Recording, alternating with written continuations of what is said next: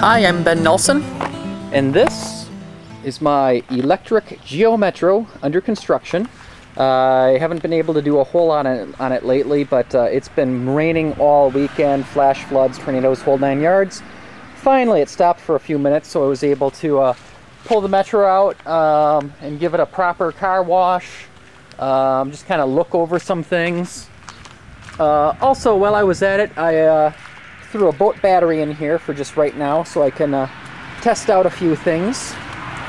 So, if I go inside, um, even though there's no engine in it, if I put the key in, right away you'll hear um, electronics work.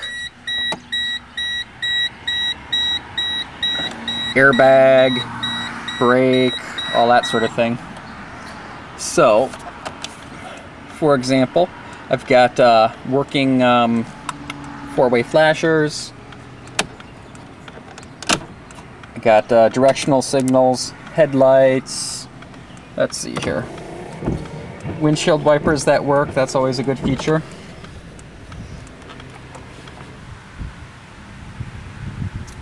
Four-way flashers, good feature to have. Um, I also have license plates on it. Those are from my old gas car, which I sold. There's still about uh, nine months of registration on those plates, although I haven't officially transferred them yet. I just put them on there so they're out of my way and I can stop tripping on them. And here you can see what uh, a car with no engine or transmission in it looks like. I've just got the drive axles tied up right now and a whole lot of wires hanging there not doing anything Overall, the body on the car looks pretty good though. There's uh, a few dings and a few scratches, but I mean overall it's kind of shiny enough to see myself in. So uh, I'll definitely have to do some cleanup on the uh, on the tires. Um, they're pretty rust, well, on the wheels. Uh, I'll have to sandblast those or something, I think. Um, but this is a nice, nice body design for the car. The hatch opens up real high. The car is very rounded looking. Um, not a bad looking vehicle. Here's actually something kind of interesting here. Um, I was able to get my hands on a laptop computer, which is a Sony Vaio. Uh, pretty nice laptop.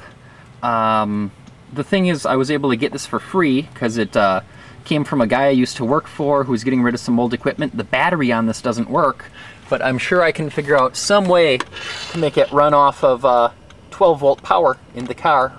Um, do a DC to DC converter off the main battery pack, and then I'll be able to run a computer in the passenger seat. And I've got uh, an adapter cable that'll let me go from a USB for the computer to a COM connection. So if I use, for example, an Alltrax controller, um, then I would be able to have that as a display, tell my amps and volts and everything like that.